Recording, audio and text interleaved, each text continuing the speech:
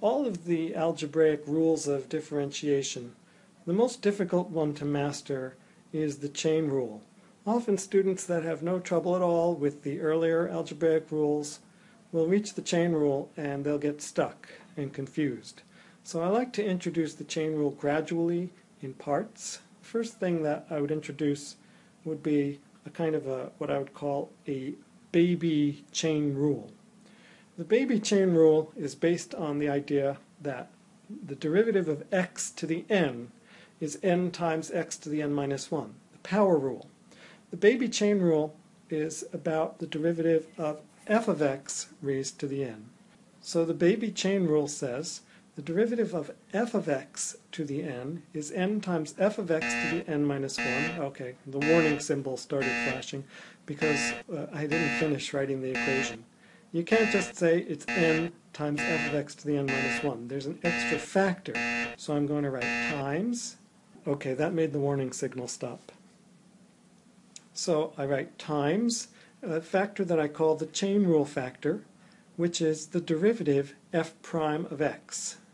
And now it's correct. So this is the baby chain rule, and I want to show you a few concrete examples. Okay, so that now it's telling us we got it right. That's good. Um, so I want to show you a few concrete examples. First of all, let's look at the derivative of x squared to the fifth. Uh, you don't need the baby chain rule to find this derivative because you know it's really the same as x to the 10th and the derivative will be 10x to the ninth. But let's just use the baby chain rule on this uh, just to see how the tool works and to make sure that it gives us 10x to the ninth. So f of x in this case is x squared. So the derivative of x squared to the fifth is going to be 5 times x squared to the fourth. Oh, come on, I didn't finish writing it. Right, 5x squared to the fourth times the chain rule factor, which in this case, do you know what it is? It is 2x. 5x squared to the fourth times 2x.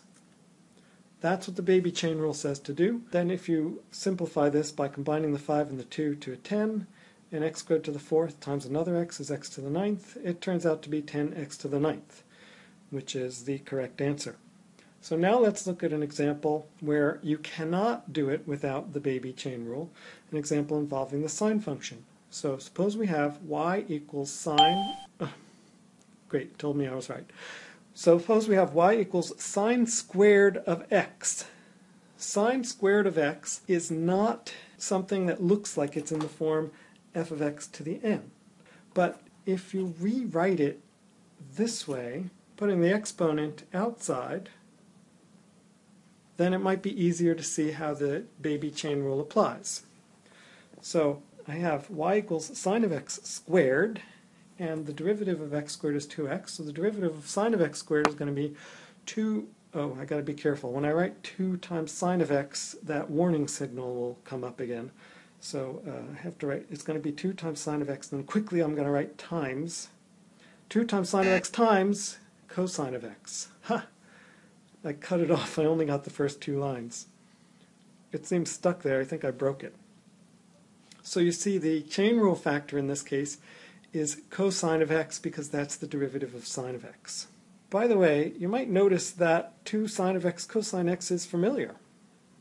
Why would the derivative of sine squared of x be sine of 2x? That's something for you to ponder later.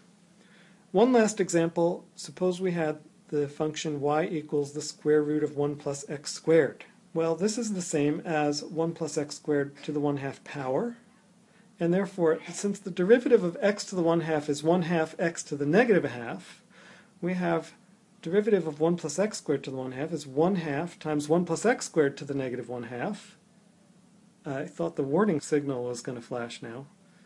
I guess I really broke it, because what I've written now is wrong. I still need another factor. I need the chain rule factor times 2x, because 2x is the derivative of 1 plus x squared. And then this probably would be written this way, x over square root of 1 plus x squared. So I hope you followed all these steps, and if you did, try it on your own with some of the practice examples.